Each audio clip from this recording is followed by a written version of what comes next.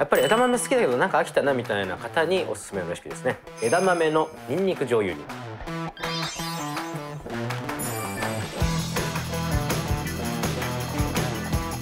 読んで字のごとしニンニク醤油で煮るだけです。その後しばらくつけるんですけどしっかり味が入ってこれがね時間が経った枝豆がうまいんですよ。うん。煮含めて食べる枝豆ってのもなかなかおつなもんだと思いますね。で結構しっかり茹でてあるので3日4日持つかな。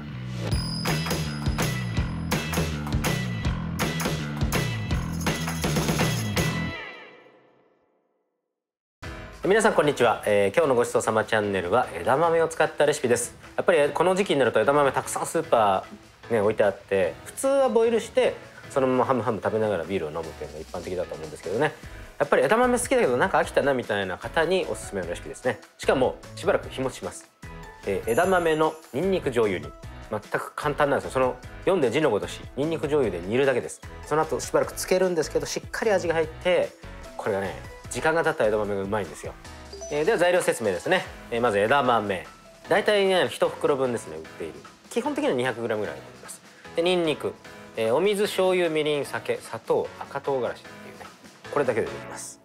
まず小鍋の中にお水各調味料入れていきます。お醤油。お砂糖。酒。みりん。赤唐辛子でにんにくは2分の1片ぐらいですね。スライスして。で入れる。ここに枝豆。最近こうやってねちっちゃい枝がついてるのが多いんですけどハサミでパチパチ切って取ってるんですけど、まあ、あんまり多かったらちょっと取った方がいいですけど、まあ、すごく気にしなくてもいいです。ポチャポチャ。ポチャポチャ。じゃあ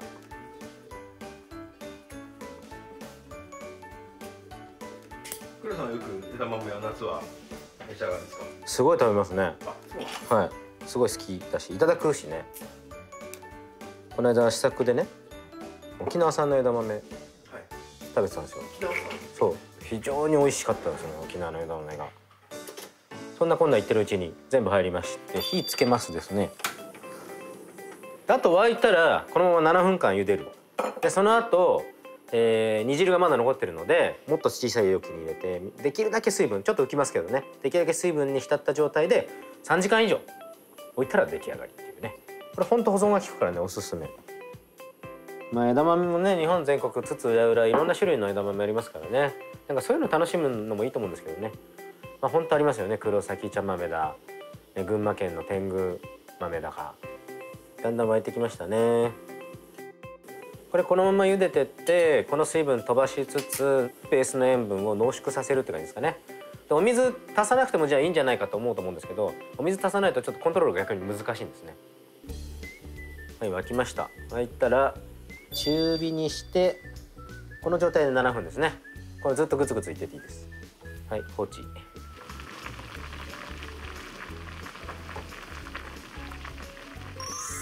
そろそろ7分経ちましたね。7分経った状態でまだしっかり煮汁残ってます。今火止めました。煮汁こんぐらい残ってます。この熱い状態から冷めて過程が一番味が入りやすいんですね。だからこのぐらい煮汁残して別のボウルなどに入れ替えてで一回この状態で室温まで冷ましてから落としラップして3時間以上つければ出来上がりですね。え、ボウルに移して今室温まで下がった状態ですね。室温まで下げたらここでラップをしていきます。で落としラップなのでできるだけ枝豆が水分に浸ってる状態ですね。でもそれでも多分、えー、上まで水分上がってくるほど水分残ってないと思うので、まあ、できれば一回ひっくり返せるといいかな。より均一にしみるって感じですかね。で今日はえつけておきましたですね。つけたのがこちらですね。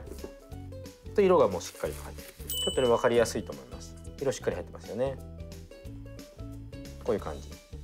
これだったら OK だから、えーと、塩茹での枝豆もそうですけど塩茹でして上から塩かける方が多いと思うんですけどこうこういうに食べるじゃないですか。と。だから豆自体に味がそんなに入ってなくてもこの表面にこの煮汁の味が入ってれば同時に食べるとものすごいちょうどいい感じ。じゃあ盛り付けていきますね。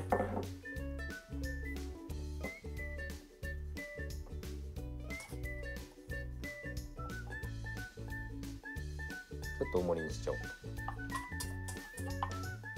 上から汁もかけてはいこれで完成です。こっちのいいね。はい。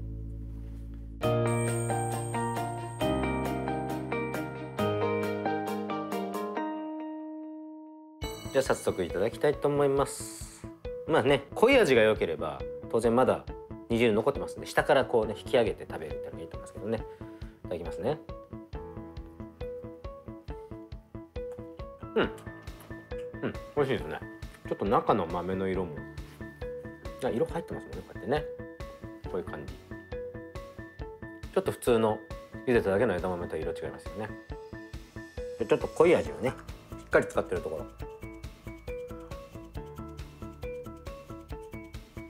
ろ。うんうまうまいっすね。